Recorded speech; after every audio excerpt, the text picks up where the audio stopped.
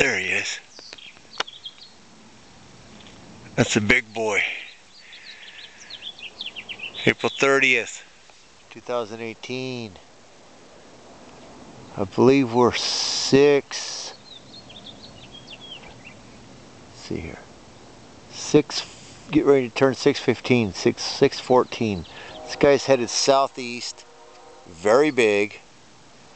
And I can't emphasize this morning.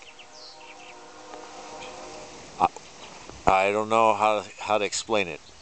Uh, a bombardment we were bombarded with chemtrailers. They were the shiny guys. Very few of the ones that I normally catch that have a long tail, but these were like on-off sprayers, delayed sprayers. Anyway, enough of that guy. We're full zoom. I'm going to the east. I'm going to show you.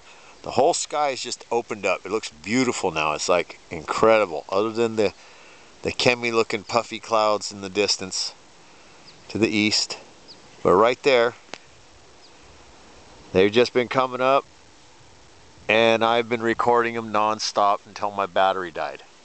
Anyway, make a long story short, they came so much and then a private, like a military industrial complex, complex plane or a private jet, but it was weird. It had a fin on the bottom like a boat has underneath it. I've never seen a private jet like that that's just incredible. So it leads me to believe that it might have been one of those, what do you call them?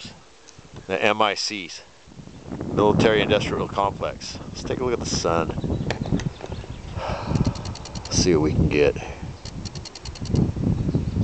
Totally zoomed in. Anyway, got a lot of them in the morning. Chemtrailers on off.